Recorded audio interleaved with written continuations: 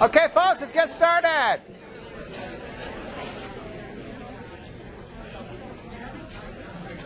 I just discovered uh, a minute ago, uh, thanks to a student who pointed out to me, that the, the uh, highlights for May 7th are not correct. In fact, the 7th, the 7th and the 10th both are the same. So I've screwed up a link or something. So I apologize for that. Um, I will fix the May 7th link. So hopefully um, I didn't erase it somewhere, and I'll have to write the whole thing again. But I've been able to do that too. All right, so we're moving along with energy. And um, I hope that you um, understood what I had to say the other day. Um, I recognize that's calculation related, and I recognize that causes some anxiety. So, as always, if I can be of help to you, let me know. I did send out a message today urgently asking for some tutors for biochem, and I actually have several tutors lined up. If you're interested in a tutor, let me know. Uh, I've heard from a couple of you already, uh, but I do have some people who will do it. They, they, they, do it for pay, but they will. They are more than willing to tutor you. Uh, the TA is free tutoring during office hours, and of course, you're always welcome to come talk to me if you if you have questions as well. So, whatever works for you, let's get the uh, things going. Okay. Um, so energy, uh, delta G, I think you should be able to do fairly straightforward basic calculations kind of like you did with Henderson Hasselbalch that don't require a calculator. And I gave you some examples in class the other day, uh, yesterday, and um, I think those are um, useful things for you to be able to do. So the reason that we do these uh, energy calculations is we really want to determine the direction of a reaction. Okay? The direction of a reaction is very important for us because reactions are reversible, and understanding uh, what makes a reaction go is very, very useful and important to us. So we want to be able to make those sorts of determinations. I think also having an understanding in terms of what an energetically favorable reaction is and an energetically unfavorable reaction is. I mentioned that briefly yesterday. And those are also all a part of this. So you can look at a delta G zero prime value and say, wow, this thing really doesn't want to go forwards uh, very much, or wow, this one really doesn't want to go backwards very much, etc. So that you should be able to look at things and be able to make those determinations. Now, energy is critical for other reasons. Um, the number one, of course, being that it takes energy to do work. It takes energy to synthesize molecules. Okay? When we talk about metabolism, which is what we're rapidly moving in the direction of right now, when we talk about metabolism, we are talking about the sum of the chemical reactions that are occurring in living cells. Notice I said it's the sum of the reactions that are occurring in living cells. This includes the reactions that are involved in breaking down things.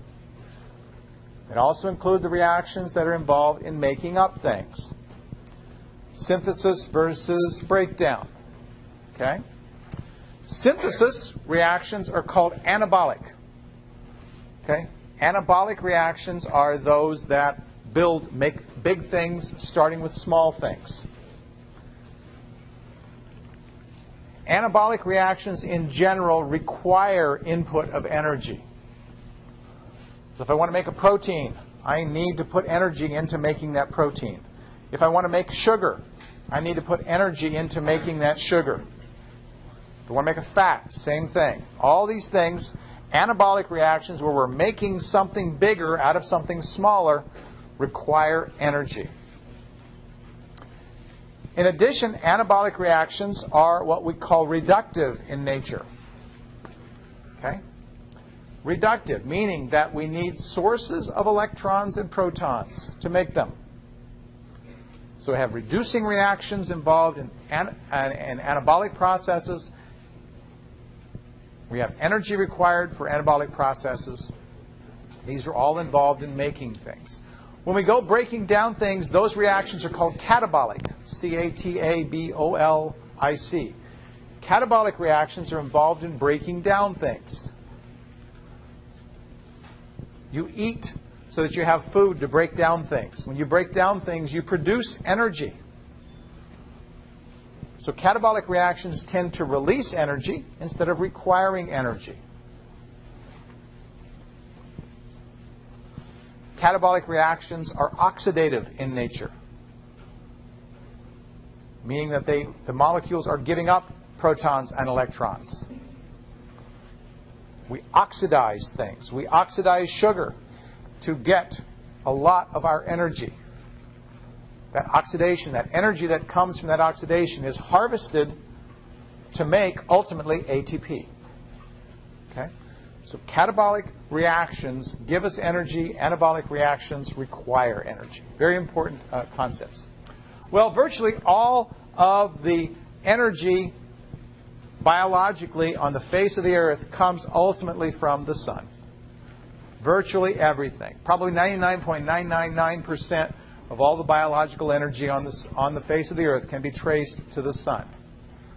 Plants, of course, are the main harvesters of that energy. Animals eat plants. Bacteria eats everything. Okay? But ultimately, that energy source is the sun. We see as we look through this that we see on the top, we see pros things that are, are energy uh, containing. We see glucose. We see ATP. And at the bottom, we see things that are the products of the breakdown of these ADP, carbon dioxide and water, etc. Proteins we make from amino acids. When we break proteins down, we go back to making amino acids. Amino acids can also be oxidized ultimately to carbon dioxide and water. Okay? So anabolic, catabolic processes. And now we start to see why we want to understand the direction a reaction goes. A reaction going in one direction may be anabolic, in the other direction may be catabolic. So understanding is the cell making glucose or is the cell breaking down glucose is a very, very important consideration. The cell makes that determination without even uh, thinking about it. You get to study it. Okay. Catabolism versus anabolism. All right. When we look at catabolism, we see the large molecules being broken down. The large molecules in the cell, of course, include fats, which aren't all that large. From an energy perspective, though, fats contain more energy per gram than any of the other categories. Fats are very, very rich in energy. Polysaccharides. We'll talk later in the class about glycogen, which is a polymer of glucose. It's stored in your liver, it's stored in your muscles, and glycogen uh, is a polysaccharide. Proteins. Proteins, of course, are um, sources of energy when we break them down. It takes energy for us to make them. As we eat proteins in our diet, we are getting amino acids. We are also getting um, the energy from the breakdown of those proteins, and that can be used in many ways. To go upwards, we go through anabolism. To go downwards, we go through catabolism. So down here, we see catabolism going this direction. Go upwards, we make anabolism. Okay. Um, that's pretty much what I want to say there, I think. Carbon, carbon is a, uh, obviously a critical atom that is involved, involved in biology. And carbon can exist in a variety of oxidative states. Okay? So on the far left, we have the most reduced state of carbon.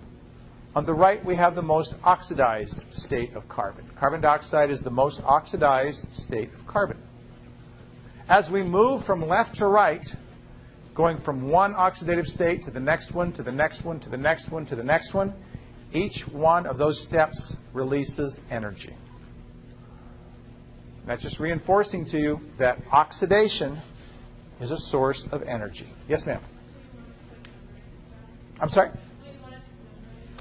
I think this is a basic organic chemistry principle. I'm not, I'm not going to ask you to, to redraw it, but I think you should certainly know that something that has only carbons and hydrogens is more reduced than something that has an alcohol, and that an alcohol is certainly more reduced than an aldehyde or ketone, and that that's more reduced than a um, carboxylic acid, and that that's more reduced than a carbon dioxide. So I guess in a sense, yeah, I mean, um, that's a basic organic chemistry thing, right?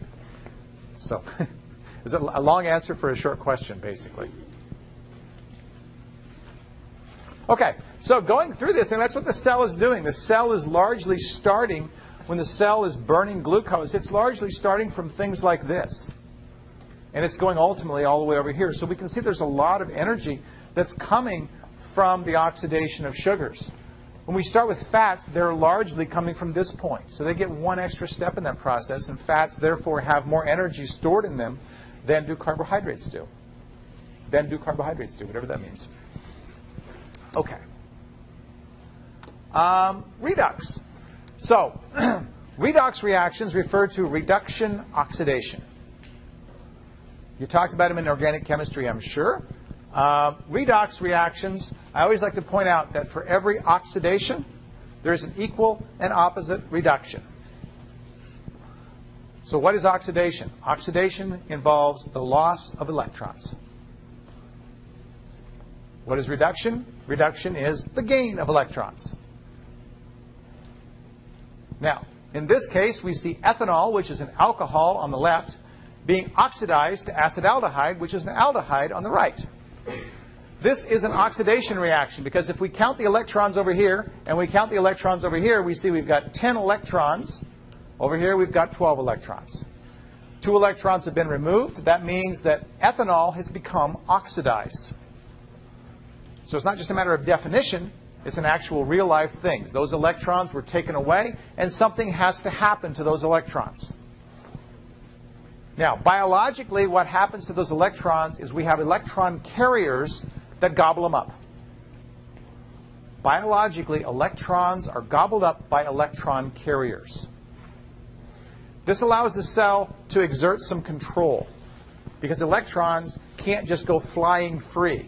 If they fly free, we have real problems because they attach themselves to the first things that they find and they make them extraordinarily reactive. Reactive oxygen species, for example, that I've talked about in this class, arise from oxygen having an extra electron.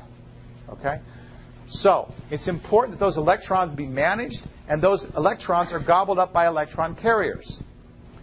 Well, I said for every oxidation there's an equal and opposite reduction. We can see here, here's the oxidation, where's the reduction? Well, when the electron carrier grabs the electrons, it's becoming reduced. Okay? It's not the reversal. If I wanted to go backwards, that would be a reduction. But I'm pointing out that when I go in this direction to the right, there's actually two things that's happening. Oxidation here, reduction. This is going to go on to an electron carrier.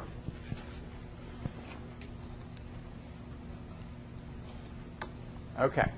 Here's one of the electron carriers. And no, you won't need to know the structure.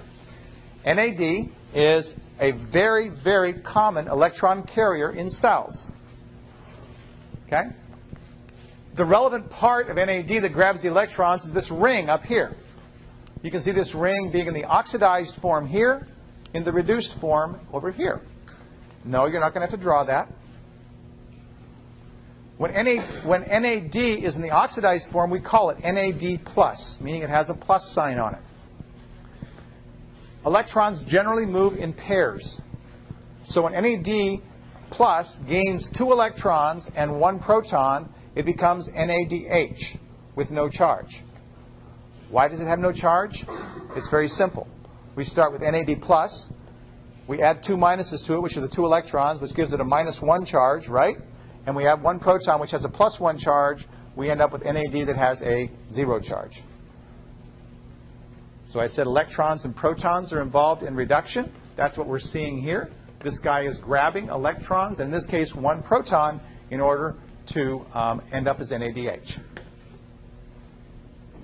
Now, if I had this NAD accepting protons in the last reaction, I would have the alcohol plus NAD goes to the aldehyde plus NADH.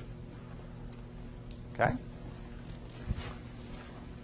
There are other electron carriers. There's a related molecule called NADP, which simply has a phosphate down here. It has all the exact same things up here. And not surprisingly, when it gains electrons, it's called NADPH. FAD is another common electron carrier. And FAD